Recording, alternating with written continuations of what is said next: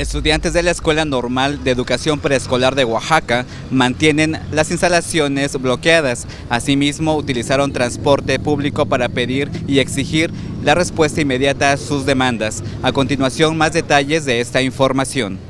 Los poco más de 270 estudiantes de la ENEPO llevan meses solicitando becas para materiales de apoyos a prácticas profesionales, becas escolarizadas de acuerdo al promedio de cada uno, así como del transporte público, entre otras. Sin embargo, señalaron que dentro del movimiento hay deserción de al menos 30 compañeras que optaron por retirarse de las movilizaciones y ahora pretenden tener los mismos privilegios que han alcanzado.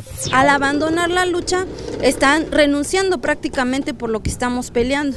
Sin respuesta alguna por parte de las autoridades de la normal y del sector educativo, señalaron que las reuniones o mesas que se entablen tendrán que ser resolutivas, además de puntualizar que las autoridades de la ENEPO muestran incapacidad resolutiva y de diálogo. Mientras tanto, padres de familia y plantilla docente fueron retenidos en el interior de las instalaciones.